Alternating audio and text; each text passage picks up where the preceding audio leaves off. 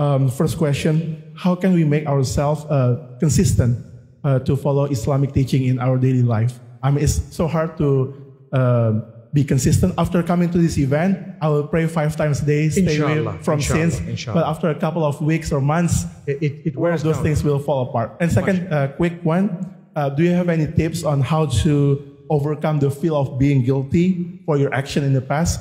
You mentioned past is the past, but sometimes it bothers your head. Thank you very much. Bismillah ar-Rahman rahim Guilt is something that is good when it comes to the bad that you've done. But the fact that you feel the guilt must not make you doubt the fact that you are forgiven by Allah. You are embarrassed. Say, for example, the embarrassment of cheating on someone or the embarrassment of doing something bad, and then the person says, Don't worry, it's over, it's okay. But every time you see them, you're like, Gosh, I shouldn't have done that. You know? Gosh, I shouldn't have done that. That, that guilty feeling is not because you are doubting the forgiveness, but because you are embarrassed. I shouldn't have. When you know the status of your Maker and how big He is and how, how great He is, you feel embarrassed of how, as little as I am, I was transgressing against the one who created entire creation. You know, there is something called the James Webb Telescope. Have you heard of it?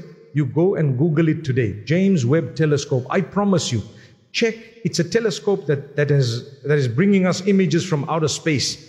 Do you know there are so many millions and millions of planets which they never ever knew existed, and galaxies uh, that they didn't know existed? Now they are suddenly seeing all of this. It's just mind boggling. And Allah mentions it in the Quran. And Allah tells us about Jannah. And Allah tells us how the earth is so insignificant as per the rest of His creation. And Allah says it, لَخَلْقُ السَّمَاوَاتِ وَالْأَرْضِ أَكْبَرُ مِنْ خَلْقِ النَّاسِ وَلَكِنَّ أَكْثَرَ النَّاسِ لَا The creation of the skies and the earth is far bigger than the creation of man. But man doesn't know. Many men don't know.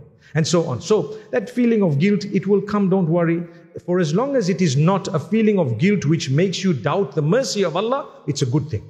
But if it makes you doubt the mercy of Allah, then you have a problem with recognizing who Allah is. That's the second part of what you asked.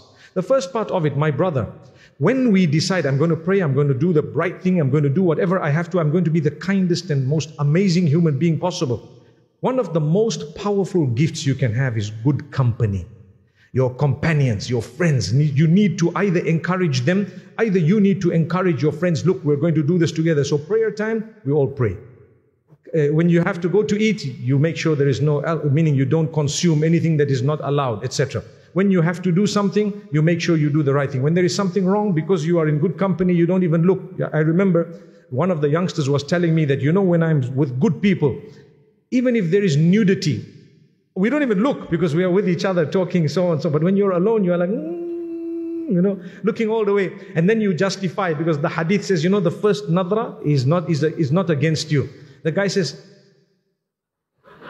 Say, what are you doing? Look down. He says, but it's still my first. Come on. so may Allah forgive us. So good company is a really good thing. Consistency. Secondly, when you have a connection with some masjid near you, or some scholar, or some eh, in your community, and you, you or even online, get used to a habit of listening every so often to some speech. I give you one last example. Jumu'ah is Friday.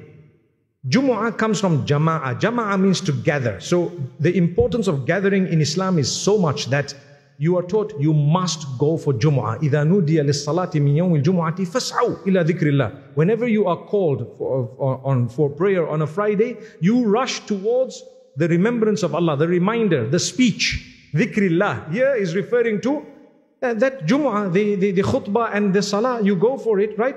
Why? Once a week, you need to listen to a powerful short message to remind you, hey, remember what we agreed, right? So every week, once minimum, listen to a good talk that will remind you again, no, no, no, improve your situation. Until a day comes when, inshallah, you will automatically be cured of all of that. It's like cough mixture.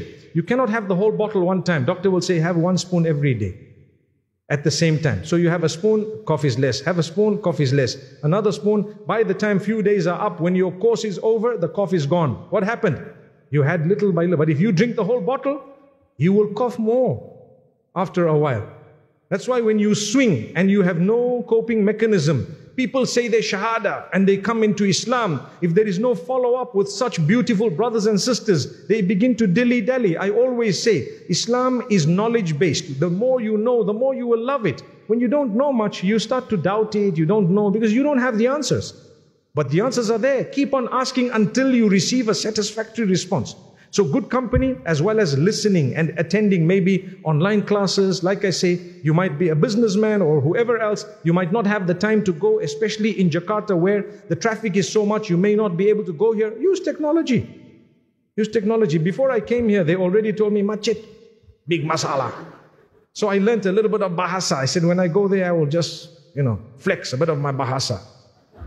Allah bless you guys. Barakallahu.